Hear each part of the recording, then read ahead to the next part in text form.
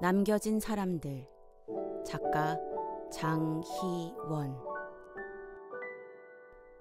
유진은 그들의 대화를 듣고 이 절의 모든 게 타버렸는데도 사람들이 많이 오는 이유가 화마에 남은 작은 목재 불상이 있어서라는 것을 알았다.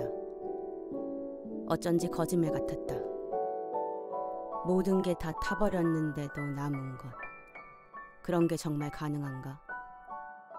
영원히 남는 것, 사라지지 않는 것이. 일상에 문학을 더하다 이승우 문학집배원이 전달합니다. 모든 게 다 타버렸는데도 남아있는 게 있다는 것. 이미 끝났는데도 사라지지 않고 남아있는 뭔가가 있다는 것. 그것은 어쩐지 자연적이지 않은 것 같다. 타버렸으면 없어져야 하고 끝났으면 사라져야 하는 게 자연의 이치에 맞는 것 같다. 그러나 우리의 경험은 그렇지 않다는 걸 알려준다. 어떤 것은 불에 타도 없어지지 않고 어떤 사랑은 끝나도 사라지지 않는다. 그래서 그곳에 다시 오게 되고 자주 찾게 되고 그렇게 살게 된다.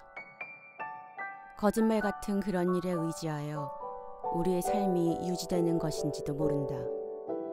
거짓말 같은 그걸 우리는 기적이라고 부르는지도.